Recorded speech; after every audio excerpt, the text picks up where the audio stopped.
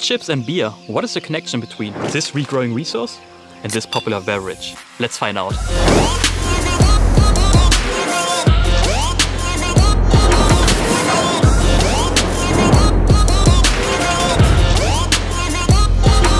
Welcome to the Rothaus Brewery, where wood chips from sustainably cultivated forests in the region are used to make beer production more eco-friendly.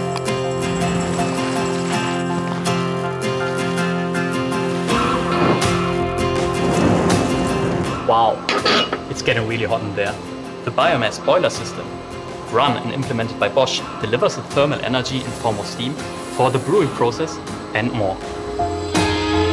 This reduces the CO2 footprint of the Rothaus brewery by over 3,000 tons per year. After brewing the ingredients for 7 hours and then adding yeast, the beer needs to mature in these huge tanks. And after 4 long weeks, we finally come to the best part, enjoying an eco-friendly beer. Cheers!